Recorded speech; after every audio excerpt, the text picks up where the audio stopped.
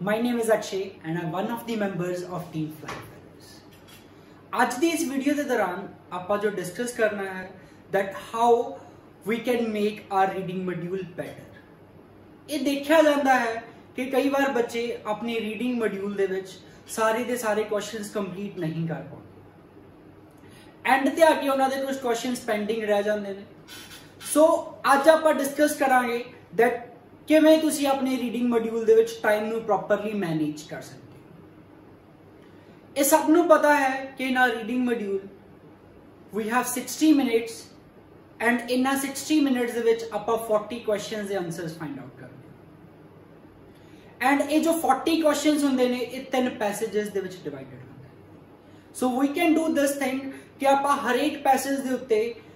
Approximately 20 minutes utilise ਕਰ ਸਕਦੇ ਤੋਂ ਬਾਅਦ ਹਰੇਕ ਪੈਸੇਜ ਦੇ ਵਿੱਚ ਆਪਣੇ ਕੋਲ 13 ਟੂ 14 ਕੁਐਸਚਨਸ ਹੁੰਦੇ ਨੇ। And now we need to divide it in such a way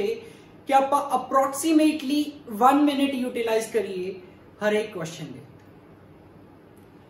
ਸੋ ਇੱਕ ਅਪਰੋਕਸੀਮੇਟਲੀ 1 ਮਿੰਟ ਯੂਟਿਲਾਈਜ਼ ਕਰਨ ਤੋਂ ਬਾਅਦ ਵੀ ਅਗਰ ਤੁਹਾਨੂੰ ਆਪਣੇ ਕੁਐਸਚਨ ਦਾ ਆਨਸਰ ਨਹੀਂ ਮਿਲਦਾ ਇਟ ਇਜ਼ ਮੱਚ ਬੈਟਰ ਕਿ ਤੁਸੀਂ ਇਸ ਕੁਐਸਚਨ ਨੂੰ ਗੈਸ ਲਗਾ ਕੇ ਅੱਗੇ ਮੂਵ ਕਰ ਜਾਓ।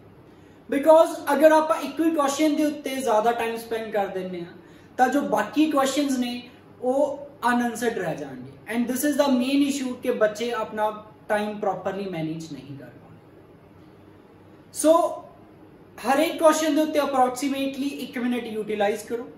ਐਂਡ ਅਗਰ ਤੁਹਾਨੂੰ ਉਹਦਾ ਆਨਸਰ ਮਿਲ ਜਾਂਦਾ ਹੈ then it is good enough and ਅਗਰ ਤੁਸੀਂ ਉਹਦੇ ਆਨਸਰ ਬਾਰੇ ਸ਼ੋਰ ਨਹੀਂ ਹੈਗੇ then make a guess and move towards the next question